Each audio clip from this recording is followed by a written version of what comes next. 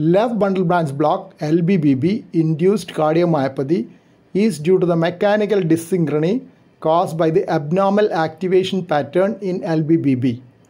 Response to cardiac resynchronization therapy CRT is excellent in this group and may be called super responders. Left bundle branch pacing has shown promise as an alternative to biventricular pacing in LBBB induced cardiomyopathy. The relationship between LBBB and left ventricular dysfunction is complex.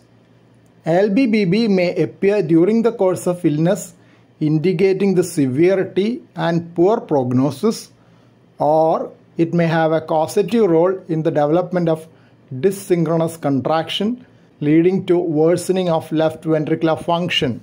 Following criteria have been proposed for LBBB induced cardiomyopathy. 1. History of typical LBBB for more than 5 years.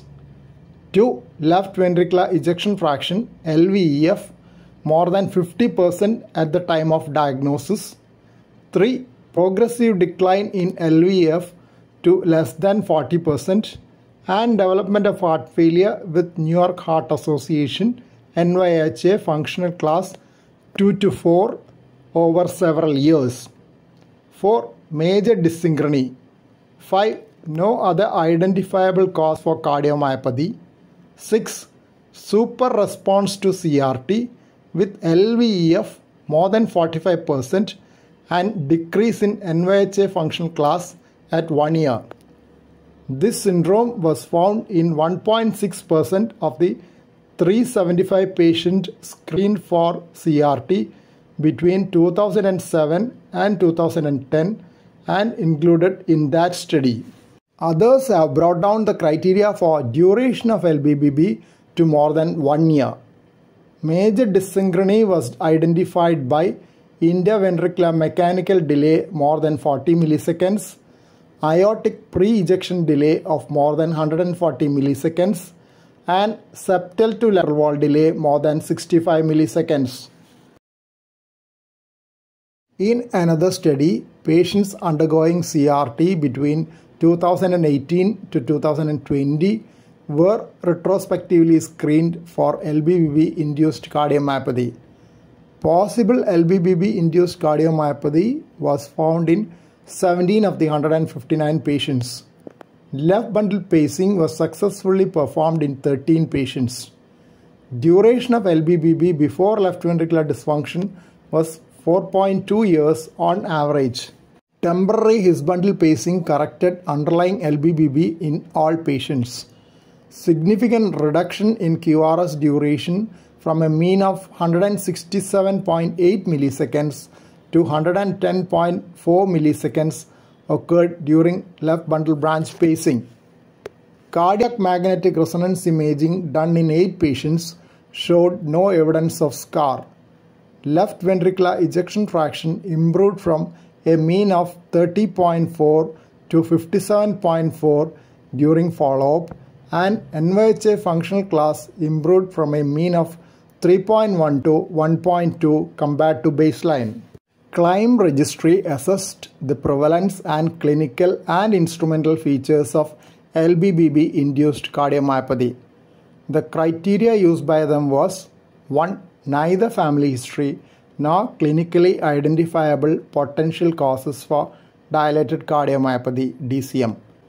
2. Negative genetic testing. 3. Echocardiographic features including severe chamber dilatation, normal absolute and relative wall thickness, marked dyssynchrony, and normal right ventricular function. 4. Absence of late gadolinium enhancement LGE on cardiac magnetic resonance imaging CMR. They analyzed 242 DCM patients from a two center registry. Inclusion criteria for the study was age above 18 years, non ischemic or non valvular DCM, and LBBB on ECG. They identified 30 subjects with the entire data set, of which two fulfilled the diagnostic criteria for LBBB induced cardiomyopathy. Neolith 2 study evaluated new onset LBBB associated idiopathic non-ischemic cardiomyopathy and time from diagnosis to CRT. Among their 123 subjects with LBBB associated idiopathic non-ischemic cardiomyopathy, time from diagnosis to CRT was 9 months or less in 60 subjects and more than 9 months in 63 subjects. Clinical outcomes for adverse events and all-cause mortality were similar in both groups. In subjects who had post-CRT echocardiograms, improvement of LVEF to more than 35% was more likely in those implanted within 9 months compared to those who had CRT implantation after 9 months. This study apparently did not follow the criteria for LBBB induced cardiomyopathy. Here are the first set of journal references. Second set of references are here. Thank you for watching this video. Please subscribe, like, share and post your valuable comment below this video.